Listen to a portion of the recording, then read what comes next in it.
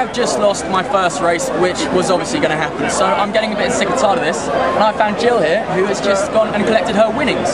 So I think I need a few tips for the next race. I usually come back Frankie Dettori, but I haven't done this time. I like the name, and I've stood the phone, to be honest. I'm grateful that we were given here once a year. That's about it, really. Exciting stuff. Well, I hope you do well with the rest of your winnings and carry on going up. So, yeah. And next time you bet, let me know what you bet on so I can come join you. Nine in your second race. That's cool.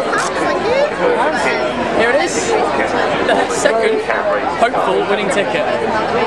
Precision break, this is yours, Tom. What? Where's precision break? It's a win, the one that's winning. No! I'm I gonna win? Ah! Come on, Precision. Come on, precision break! I don't believe this! I've never won! I've never won! I just won!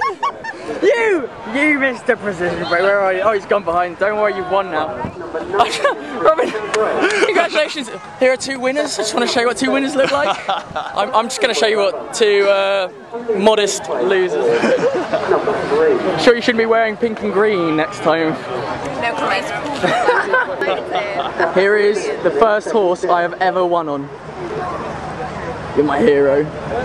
I can't believe this. This is honestly about my 100th race I've betted on, and this is the first one I have actually won.